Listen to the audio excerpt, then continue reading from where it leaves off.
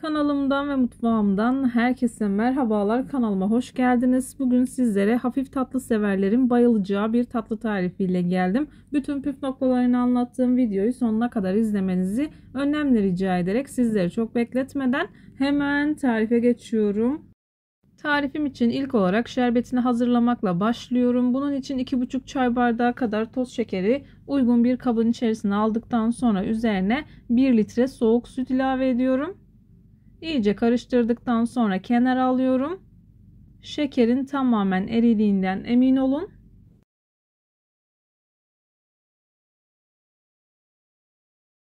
Bu tarifte şerbet kaynatma derdiniz yok. Kolay ve pratik bir şekilde hazırlayabileceğiniz muhteşem bir tarif.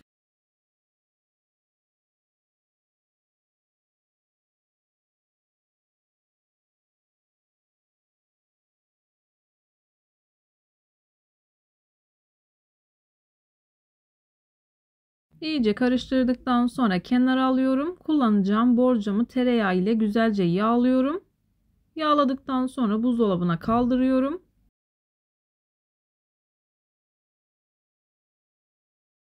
Borcamı buzdolabına kaldırdıktan sonra hızlı bir şekilde kekimi hazırlamaya başlıyorum. Bunun için oda ısısında bekletmiş olduğum 4 adet yumurtayı çırpma kabının içerisine alıyorum. 1 çay bardağı toz şeker ekliyorum. İyice karıştırıyorum.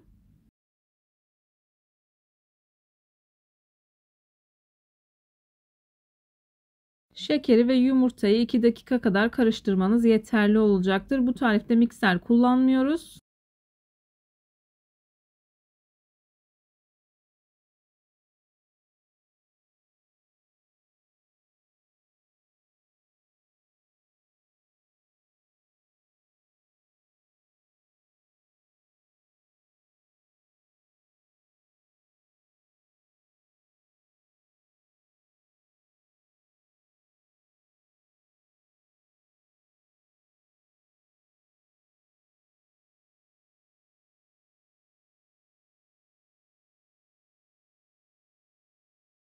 Yumurtayı ve şekeri iyice karıştırdıktan sonra yarım çay bardağından biraz daha az olacak şekilde sıvı yağ ekledim.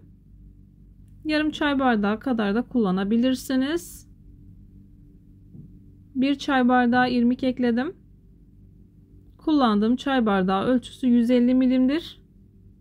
Bir paket vanilin ekledim. Bir tatlı kaşığı kadar limon kabuğu ekledim.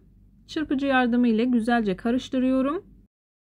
Kesinlikle bu tarifte yumurta kokmuyor ama yumurtadan rahatsız olanlar için ben limon kabuğu rendesi kullandım. İsteğe bağlı olarak kullanmayabilirsiniz ama gerçekten çok yakışıyor. Ayrıca isterseniz portakal kabuğu rendesi de kullanabilirsiniz. Malzemeleri çırpıcı yardımı ile güzelce karıştırdıktan sonra bir çay bardağı kadar un kullandım. Çay bardağını ekledikten sonra bir paket kabartma tozu ekliyorum. Çırpıcı ile iyice karıştırmaya devam ediyorum.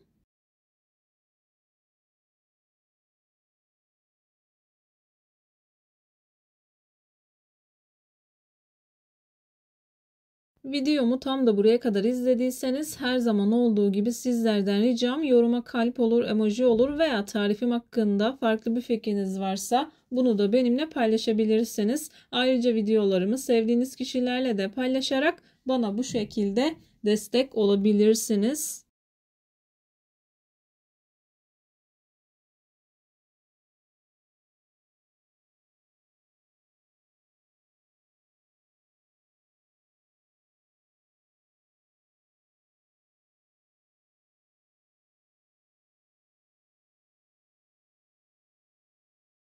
Kek harcının kıvamı bu şekilde.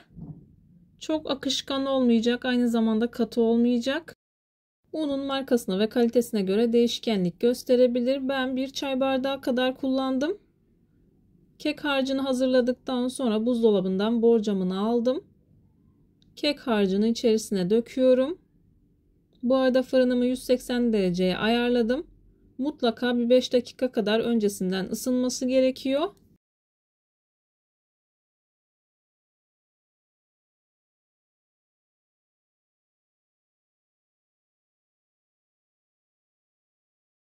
Tatlı harcını borcamını aldıktan sonra birkaç kez masaya vuruyorum.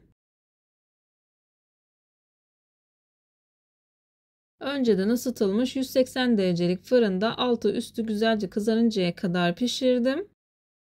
Fırından çıktıktan sonra 1 dakika kadar beklettim. Daha sonra kepçe yardımıyla hazırladığım şerbeti kepçe kepçe veriyorum. Şerbetini vermeden önce şekerin eridiğinden mutlaka emin olun. Birkaç kez daha karıştırın. Daha sonra kepçe yardımıyla yavaş yavaş döküyorum.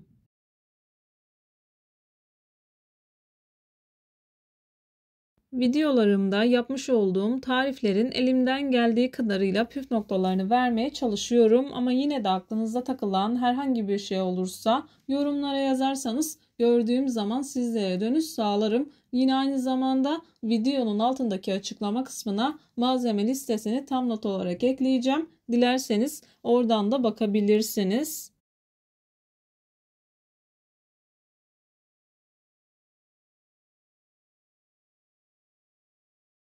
Şerbetini verdikten sonra 1 saat kadar dinlendiriyorum.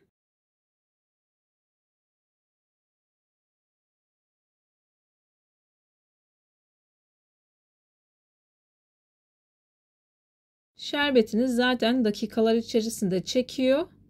Triliçe kıvamında çok lezzetli oluyor ama eğer çok ıslak sevmiyorum diyorsanız bir bardak kadar sütü eksik kullanabilirsiniz.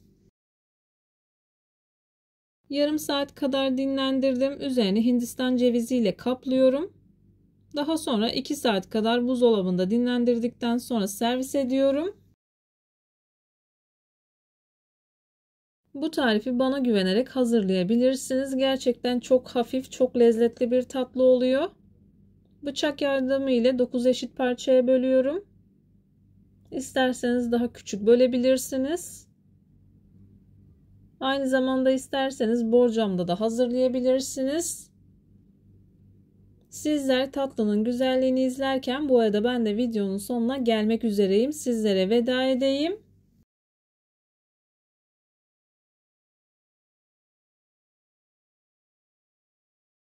Bir videonun bir tarifin daha sonuna geldim. Umarım tarifimi beğenmişsinizdir. Tarifimi beğendiyseniz beğenmeyi, kanalıma hala abone değilseniz kanalıma abone olmayı, bildirim zilini açmayı lütfen unutmayın.